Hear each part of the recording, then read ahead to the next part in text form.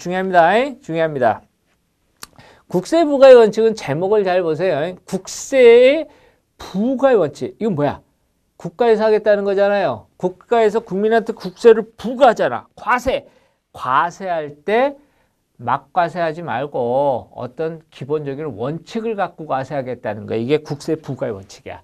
세금을 부과할 때도 기, 원칙을 갖고 해야 된다는 거죠. 일단 제목을 암기하셔야 됩니다.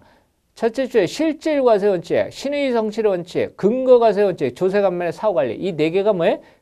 국가에서 국세를 부과할 때 지켜야 될 거야. 누가 지켜야 돼요? 국가에서 지켜야 되는 거 이게. 어, 내가 지키는 게 아니야. 그래서 네 가지를 지킨다. 이렇게 돼 있어요. 일단 정리 암기하십니다. 중요합니다. 가로 1번에 실질과세 원칙이 있습니다. 이게 뭐냐? 이렇게 돼 있는데 제일 중요한 게 뭐라고요? 첫 번째 국세부과의 원칙 네 가지의 종류를 암기한다. 두 번째 이 네 가지의 종류의 기본 개념을 이해한다. 실질과세 원칙은 실질과 형식이 있습니다. 대부분은 내가 집을 사잖아요. 내가 집을 사면 내 이름으로 등기부등본에 내 이름 올리겠죠. 내 돈 주고 샀으니까 대부분 이게 같죠. 그럴 거 아니야. 에? 내가 돈 벌어가지고 집 사면 내 이름으로 등기할 거 아니야. 소유권이죠, 등기. 그러니까 이 집주인은 나고요. 등기도 내 이름으로 할 거니까 이게 같잖아요, 현실적으로. 근데 이게 다를 경우도 있다는 거지. 돈은 내 돈인데 집을 우리 와이프 이름으로 하는 거야. 그 실질과 형식이 다르죠. 남들이 등기부등본 보면 우리 와이프 집이지만 사실은 그거 내가 번 돈 아니겠어요? 다르잖아. 이렇게 다르면 세금을 누구한테 과세할 거냐 이거예요. 같으면 상관이 없는데 다르면 세금을 여기다가 과세하겠다. 이게 실질 과세 원칙이야. 실질과 형식이 다르면 진짜 주인한테 과세하겠다 이 말이에요. 그래서 거기 보시면 법적 형식에 불과하고 경제적 실질을 기초하여 과세한다. 아 이게 말이 어렵죠. 어, 쉽게 얘기하면 형식과 실질 다르면 실질로 과세한다 이 말이 되겠습니다. 그래서 실질 과세 원칙이 두 개가 있습니다. 1번 귀속에 관한 실질 과세와 다음 페이지에 내용에 관한 실질 과세가 있습니다. 첫째 줄에 실질과세 원칙에 귀속에 관한 실질과세 원칙은 첫째 줄에 소득, 수익, 재산, 행위 또는 거래의 귀속이 명의일 뿐이고 사실상 귀속되는 자가 따로 있을 때 사실상 귀속되는 때린다. 결론이 뭐예요? 명의와 실질이 다르면 실질에 때린다.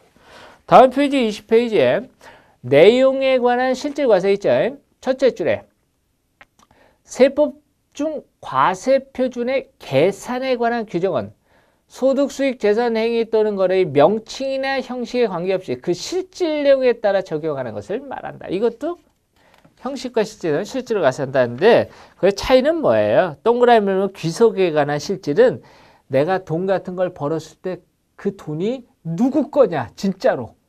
그 돈이 누구 거냐 근데 그 돈을 실질과 귀속의 형식이 다를 때 실질 때린다는 거고 다음 페이지 내용에 관한 실질 과세는 첫째 줄을 보면 뭐예요? 과세 표준 계산에 관한 규정. 세금을 어떻게 계산할 걸에 대해서 실질과 형식이 다르면 실질을 과세한다. 이거예요. 뭐 굉장히 이제 구분은 쉽지가 않은데 그런 얘기가 되겠어요. 그것만 좀 아시면 되겠습니다. 그 다음 가로 1번에 신의 성실의 원칙이 있습니다. 제목에 써 있죠. 국가에서 세금을 국민한테 과세할 때는 신의를 갖고 성실하게 과세하라 이 말이에요. 그냥 마구잡이로 막 때리지 말고 신의를 갖고 성실하게 과세하라. 이게 신의 성실 원칙이에요. 그래서 거룩하게 써 있잖아요. 상대방의 신뢰에 어긋나지 않도록 신의와 성실로 행동해야 돼. 이렇게 돼 있어요. 중요한 것은 이게 아닙니다. 두 번째 줄에 국세기본법에서는 납세자가 그 의무를 이행하거나 세무공무원이 그 직무를 수행함에 있어 신의에 따라 성실하게 해야 된다. 거기 납세자가 이것을 동그라미를 딱 치셔야 됩니다. 즉 무슨 얘기입니까? 우리가 지금 국세부가의 원칙은 누가 지켜야 되는 거예요? 세무공무원이 지켜야 될 원칙이죠. 세금 과세할 때 에? 세무공무원이 신을 갖고 성실하게 과세해야 된다는 거예요. 그런데 신의 성실의 원칙은 세무공무원뿐 아니라 납세자인 세금 내는 사람도 지켜야 되는 거야. 그래서 조심해야 돼요. 그 뒤에 세무 공무는 당연한 거 아닙니까? 근데 납세자도 지켜야 된다는 거. 요거 하나 조심하시고 네 번째 줄에 해석에 의한 소국과세 금지 원칙이 있어요. 요거 뒤에 나옵니다. 이것은 신의 성실의 원칙을 구체적인 형태이다. 이거 좀 구분해서 암기하셔야 되겠습니다. 요거 뒤에 나와요. 그것만 좀 이해하시고 그다음 근거과세 원칙이 있습니다. 에, 세무서에서 세금을 과세할 때는 그냥 막 과세하는 게 아니라 근거를 갖고 과세해야 된다는 거예요. 그럼 이 그 그 근거가 뭐냐? 거기 보시면 가로 3번에 두 번째 단락 보시면 과세 표준의 조사 결정, 즉 세무서가 세무조사 같은 거 할 수 있잖아요. 조사 결정은 그 장부와 이에 관계되는 증거 자료에 의하여 하여야 한다. 즉 여기서 말하는 근거가 뭐예요? 납세자가 작성한 장부를 얘기하는 겁니다. 즉 세무서에서 세금을 과세하거나 조사할 때도 납세자가 작성한 장부를 근거로 과세해야지 세무서에서 그 장부를 무시하고 납세자가 작성한 장부를 무시하고 자기 마음대로 과세하면 안 된다는 거예요. 그래서 근거 과세 원칙은 뭐예요? 근거를 갖고 과세하라. 이때 근거는 장부다. 그죠? 어, 그 다음에 네 번째 줄에 그러나 국세를 조사 결정함에 있어서 장부의 기록 내용이 사실과 다르거나 장부의 기록에 누락된 것이 있을 때는 그 부분에 대해서만 정부가 조사 사실에 대해 결정했습니다. 무슨 얘기입니까? 납세자가 작성한 장부를 근거로 세금 과세해야 되잖아요. 근데 그 장부가 허위일 수가 있잖아요. 허위로 작성한 장부를 그대로 과세할 수는 없잖아. 그죠? 그러면 조사를 해서 허위로 작성한 그 부분만 조사해서 정확하게 과세하라는 얘기야. 나머지 정확하게 작성한 장부는 그대로 인정하라는 얘기죠. 그래서 여기서 중요한 건 뭡니까? 누락된 것이 있을 때는 그 부분에 대해서만 이게 중요한 겁니다. 만약에 장부가 허위로 작성됐다 그래서 그 장부 자체를 완전히 무시하고 다 조사하면 안 된다는 얘기야.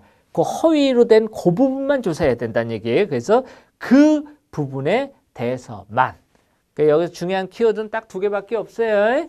에, 근거 가 세다. 근거가 뭐라고요? 장부다. 근데 그 장부가 허위면 어떻게 된다고? 그 장부를 인정을 하되 허위인 그 부분만 조사하라. 이 말이에요. 4번에 조세 감면의 사후 관리가 있습니다. 제목을 보시면 조세 감면, 세금을 깎아줬다는 거 아닙니까? 그럼 사후 관리가 있어요. 세상에 공짜가 없죠. 에? 국가에서 세금을 깎아줄 때는 다 조건을 걸고 깎아준다고. 너 이러이러한 조건 지켜야 돼. 내가 세금 깎아줄게. 그러면 그 조건 지키는지 안 지키는지 감시해야 될 거 아니에요. 이게 사후 관리야. 그죠? 어, 다 지킨다 그러고 세금 깎, 깎아줬는데 안 지키면 어떻게 해? 그래서 조세감면 사후 관리는 세금 깎아주고 지켰는지 안 지켰는지 조건을 감시하는 게 사후 관리입니다.